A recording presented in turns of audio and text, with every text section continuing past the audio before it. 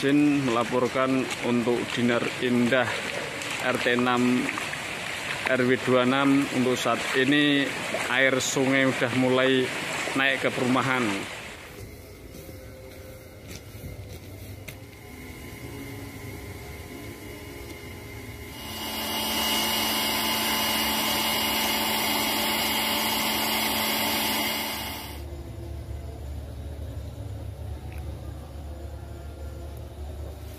Ya mulai maghrib tadi ya, sudah sekitar jam 6-an. jam 6 Ya cuma di jalan mas. Di jalan mungkin yang agak pendek sana ya sekitar 20 cm. Kalau yang sana agak ya di bawah lutut itu 40 cm. Dari rembesan tanggul darurat tuh. itu emang ketinggian airnya kalau dibanding sama yang kemarin itu lebih tinggi mana pak yang waktu Ya, masih, ambral itu masih tinggi kemarin, tapi Masih ini ya cukup tinggi mas.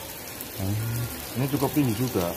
tapi lebih tinggi yang kemarin ya pak iya, seperti tinggi kemarin.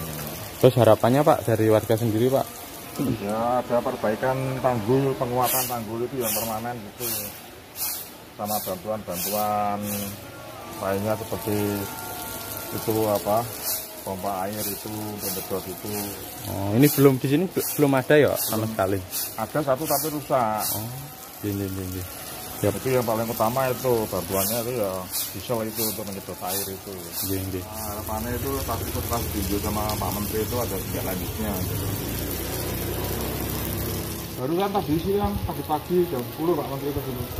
Pak Menteri PU apa PMK itu loh. oh PMK Iya. Muhajir Effendi. Mbak Muhajir Effendi itu oh, iya, iya. Sama perwakilan dari Kemensos itu. Oh, iya. Pasti ke ini ya pak Yo sementara anu dengan pengalaman kemarin itu Pak, dari warga sendiri sudah was-was gitu pak iya sudah lari ke tempat itu eh, yang aman masjid itu. sampai saat ini masih di sana berarti pak Ini sudah pada pulang semua. udah pada pulang karena udah surut ya pak Iya. Ini, ini.